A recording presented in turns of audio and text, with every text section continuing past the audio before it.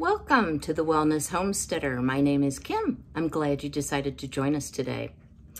So I was actually getting ready to stock up on some of my laundry products, which I do make. And I thought, you know, we've been really focused on canning and food preservation and building a pantry. Why don't I just turn the camera on and show you some simple, safe, and healthy hacks for doing your laundry.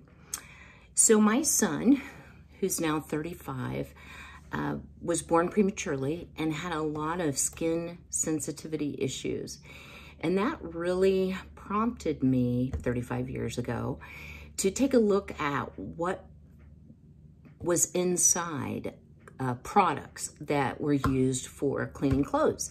So even the baby sensitive skin type products were problematic at times for my son. So through the years, I would love to know how much money I've saved and how many chemicals I've avoided by just simply making my own. So today I'm going to be making over here, you can see over here, some laundry soap, but that's gonna be a separate video.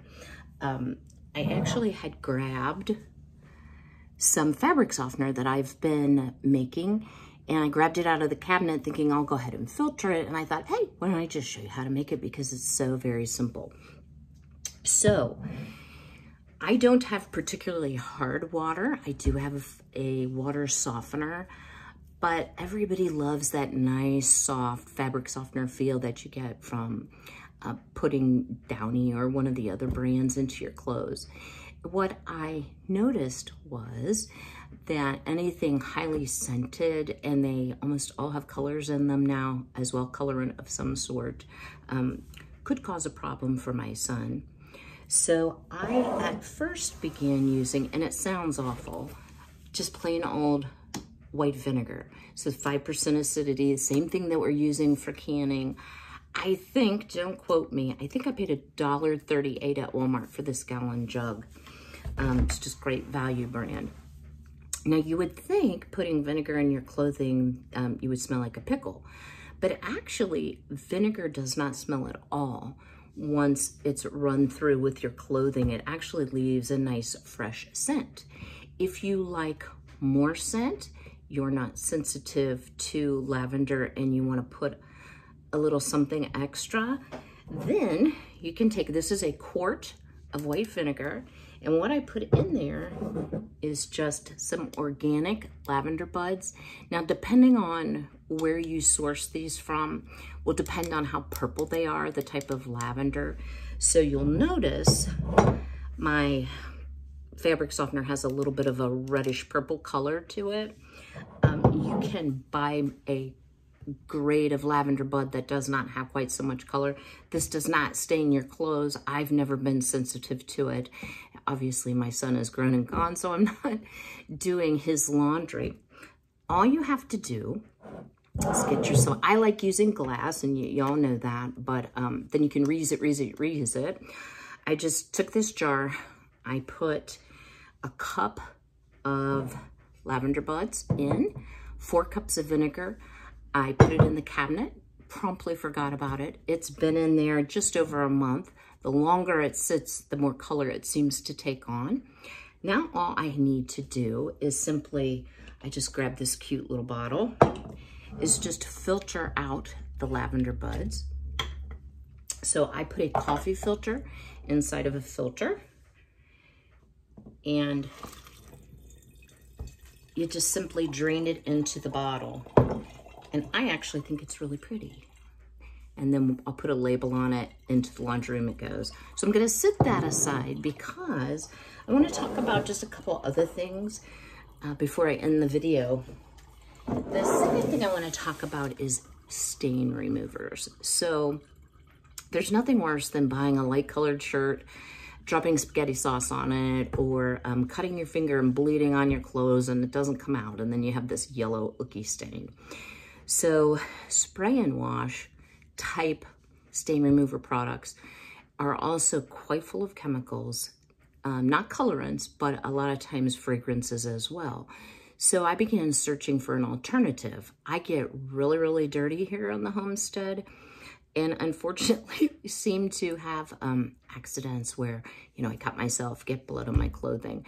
As a nurse, I've known for years that straight hydrogen peroxide will take blood stains or organic stains, so things like um, body fluids, I'll just leave it at that. It will take it out of the clothing. You need to make sure that your clothing is color fast for hydrogen peroxide. So a second alternative, and this works great, is just to use soap. So this is a bar of Kirk's Castile soap. So it's 100% coconut oil soap. It's a very hard and white soap, no coloring, no scent. Um, I keep this in my laundry room on a little wooden um, soap dish. I wet the bar of soap or wet the clothing, rub the stain, and 99 times out of 100, Castile soap will take the spot right out. Other options that work really well. I grew up on this. I don't know if you all have heard of Fels Naptha. It's a very old-fashioned laundry soap, and I actually use this oftentimes when I make my laundry soap by grating it and diluting it, and we'll do that in another video. Another soap that a lot of people like and, and I like it as well, is Zote soap, which is a laundry soap. Zote, um, you can get it white. You can get it unscented. This particular bar is pink. It's called Pink Zote. And it has a little bit of scent to it, but it's not highly scented.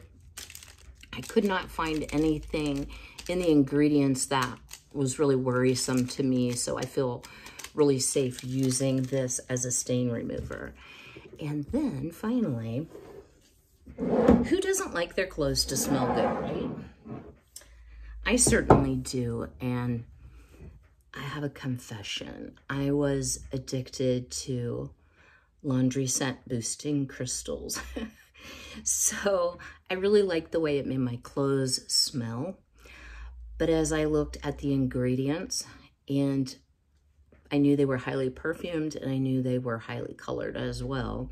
So I was putting dye and perfume, and that was something I'm, I'm trying to eliminate. And certainly you can't do it 100%. But I was like, okay, there's got to be a way you can make your own, which uh, way more economical. By the way, we didn't, I didn't even mention, you can well imagine you can make a lot of fabric softener with the lavender buds and the vinegar for a very small amount of money. So you're going to save money there. The Kirk's Castile soap, not super expensive, and the Zote's about a dollar. The Fels Naptha is just a little over a dollar, but this will last you a long, long, long, long time. You will save so much money, especially if you're making your own laundry soap. And part of wellness is having financial wellness. And if I can save money by doing a little bit of work provide for the future wellness of my financial picture, I'm certainly willing to do that. And I know a lot of you all are as well.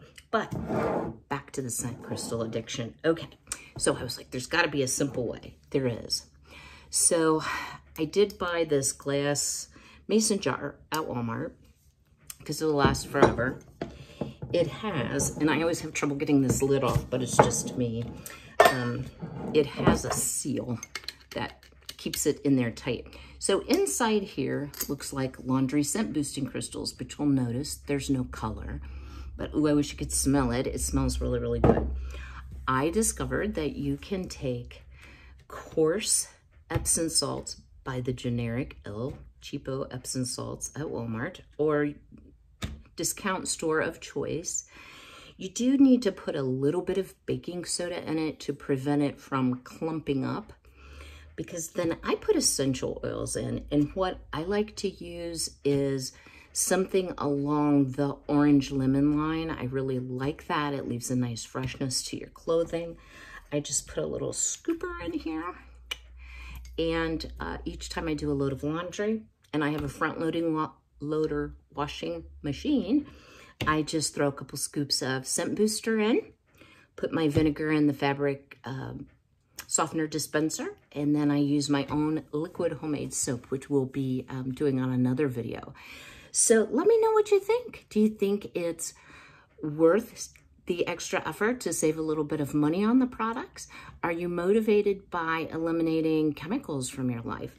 You know, the other thing I thought of as I pulled all this out to make the video and to make the product, I thought, wow, you know, I don't use nearly the amount of plastic. So, you know, I'm being kind to the earth and not filling up the landfills with tons and tons of plastic bottles, although the vinegar jug is plastic. But um, so far as I know, it doesn't come in glass. So um, hopefully we can recycle that for um, something else in, uh, in a future project. So uh, let me know your thoughts below. Again, don't forget to, to subscribe if you haven't already to the channel and you find value. Thanks for joining us today.